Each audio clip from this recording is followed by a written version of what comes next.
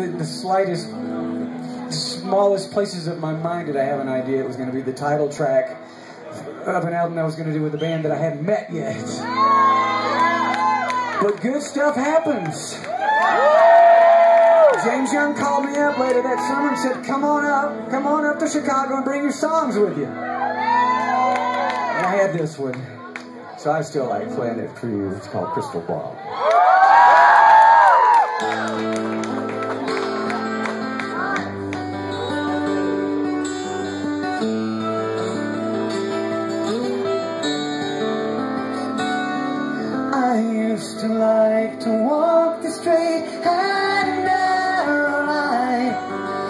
used to think